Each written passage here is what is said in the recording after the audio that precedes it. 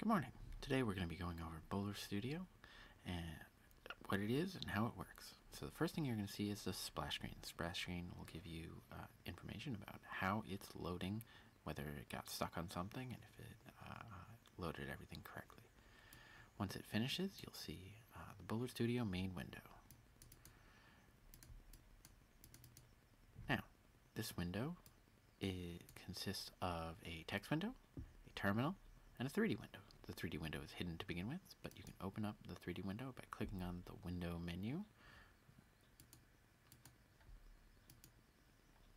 Window menu, and your lab. Cool. So that'll open up the 3D window to the right.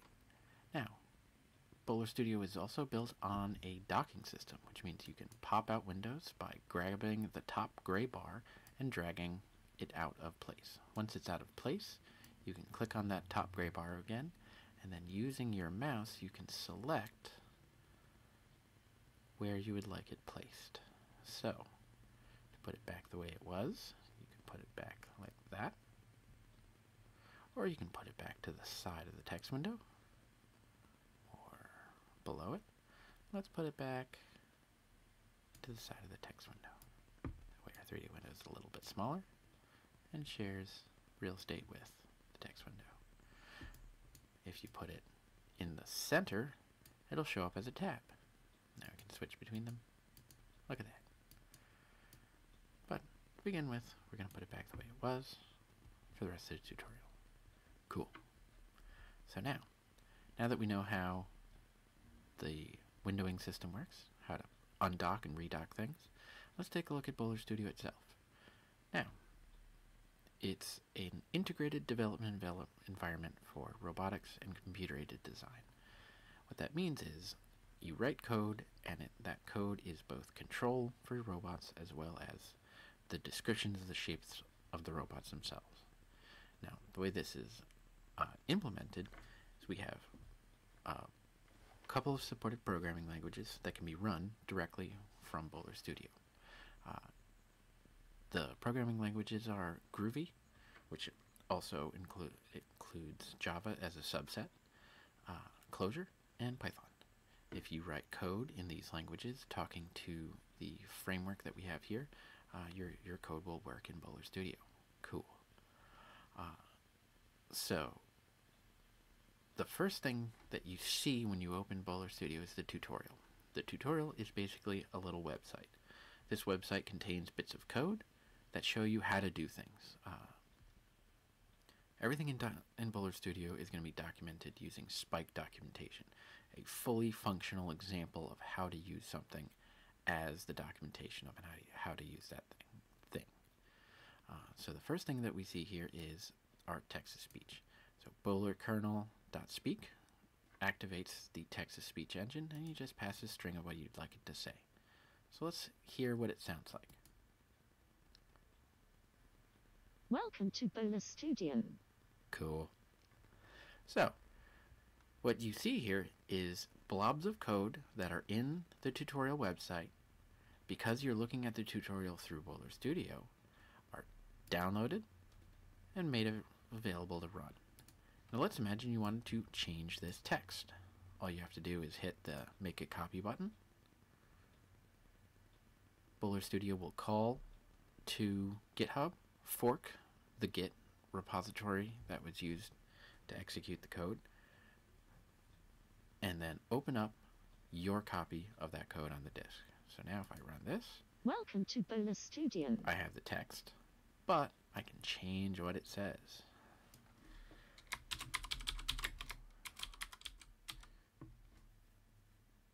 Hello world.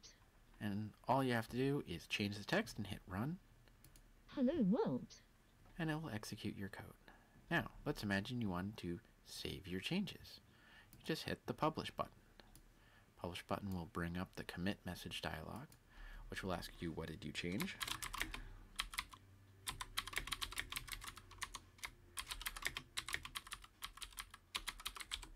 And why did you change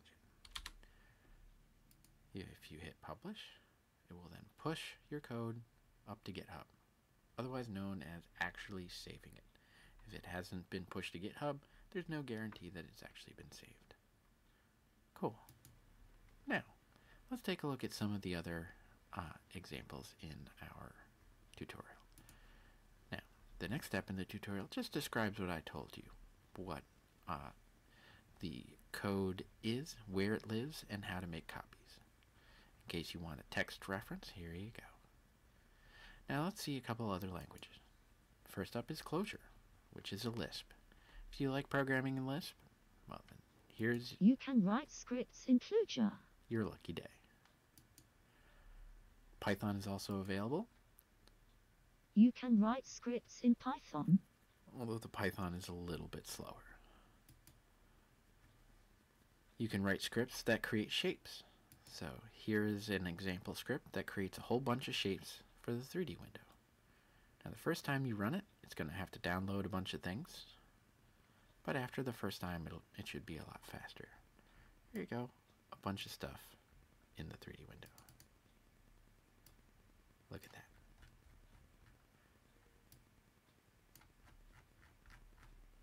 Great. Next up are mobile-based devices. So in Bowler Studio terms, mobile-based mobile-based devices are the robots. Any robot is going to be described as a mobile base. A mobile base can have uh, a couple different kinds of limbs, steerable or fixed wheels, legs, or arms. Any of the limbs that are attached to a mobile base will be described in one of those four categories. Things like heads and tails are sort of uh, more generally described as arms in this case. Um, you'll forgive the nomenclature overlap. But what you can do is run code and load some of our example robots. In this case, it's going to load the Carl the Hexapod uh, robot. Now you can see here we have our uh, robot configuration window, which shows us how uh, the robot is configured. And you can see here in the 3D window, it's running some of our example code. In this case, for the mobile-based devices, it makes it walk, then it moves a leg around, then it moves individual links. There's the link going.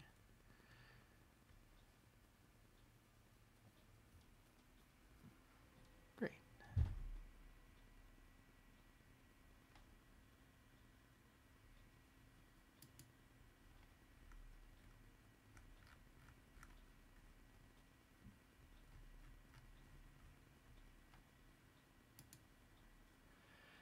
Now, in the uh, Creature Lab, uh, you can do a whole bunch of different things. You can reload the CAD for the robot. You can look at the configuration space, which is what we see here, all the link lengths and limitations. You can run a walking cycle. And if you click this little radio button here, you can generate CAD that implements the configurations that you've created. So now it's going to go through and create the CAD for the robot.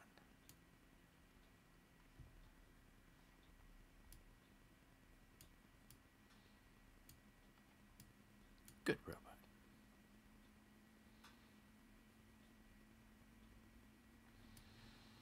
As it goes through one link at a time, it's using the configuration that we gave it to generate 3D printable parts.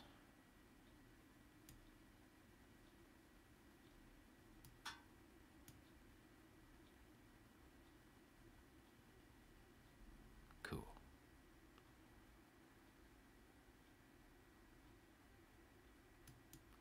While that loads, we're going to take a look at another part of the tutorial. So, once you have a mobile base that you can walk around from code, boy, it might be nice to simulate that robot to find out whether or not the robot uh, that you've created will interact with the real world in any meaningful way.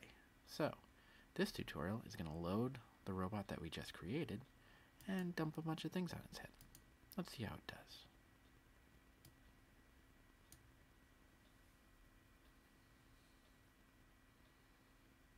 Can see the first thing it's doing is loading all the dependent files. and starting the simulation. Alright. Definitely not the most efficient robot I've ever seen, but it certainly, certainly seems to walk.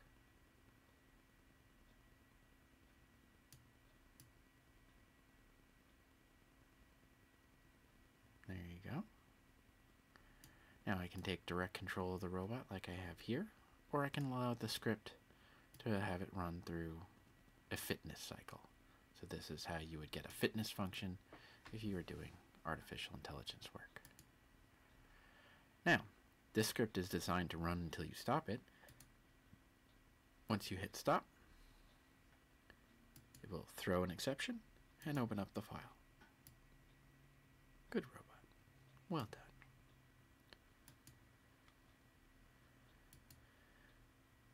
Now, Bowler Studio can be used to interact with hardware. Since this tutorial is not using a webcam, uh, we're just using screen cap. We're not going to go into any of the hardware so section at the moment. So we're going to skip over hardware, and we're going to skip over Arduino. But you can see here, you can program an INO from Bowler Studio directly from its Git location. So if, if the Git example exists on GitHub, you can push that code directly to an Arduino as part of your program flow. Now, because everything is based on Git and all the files are separate, one might wonder how you build more complicated structures. So, here's an example of using scripts to return objects and using them as functions. So in this case, we have a script whose function is to create a bevel gear, or rather, a pair of bevel gears that are matched. So when we run this script, it's going to call this Git repository and this file. Oh, it's already done. Wow. Zoom right in. And it's going to pass in these parameters, and the return will be an array of objects. You can see two of which which we return are the gears themselves, and the rest of the values are uh, data about the gearbox, information that you would use to place the axles for these particular gears. Cool. In this way, you can also use GitHub, uh, Git as a file system. So, for example, we're going to store an STL on this Git repo, this branch, and this location. And we're going to get back from GitHub, uh, from Bowler Studio, a file. Welcome to Bowler Studio. Cool. After it loads the file, it calls the git script run, which calls the hello world script from earlier. Living in the future.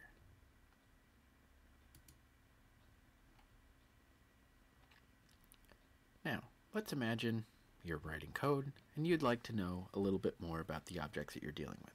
Groovy has some pretty nice features for getting that information. However, because this isn't uh, the best IDE in the world, it doesn't show up inline. However, you can print out all of the functions available on a given object. You also can throw exceptions, which will bring the file up in the Bowler Studio text window. Cool. That's all for this video. I'm going to bring bring this up later with more detail on the CAD system. Thanks for watching.